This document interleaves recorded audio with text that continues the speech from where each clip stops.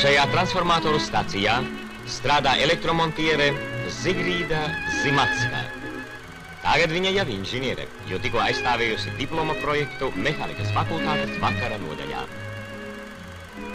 Šodien valsts eksāmenu komisijas priekšā stājas viņas vīrs, augstspriegumu līnijas meistars Edmunds Zimatskis. Viņa darbs lauksaimniecības rajona energosistēma jaunagūtajās zemēs būs teicamu novērtējumu. Šogad Republikas rūpniecības saņem daudz speciālistu,